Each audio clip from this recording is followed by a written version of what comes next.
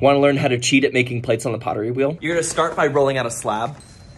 Ta-da! It's okay to make this one a little bit thick. Then we're just gonna take our slab, set it on the wheel. Give it a good pat pat, and take a needle tool. Slowly lower the needle tool onto the bat. Cut out a circle. We won't be needing this anymore. I add some water to make sure it's really stuck on that wheel. Take a wooden knife tool, kind of peel up the sides, and you're pretty much all done. I like to pull the walls up on mine just a little bit high so that the pasta sauce doesn't get everywhere. Make sure you're following for more pottery tips.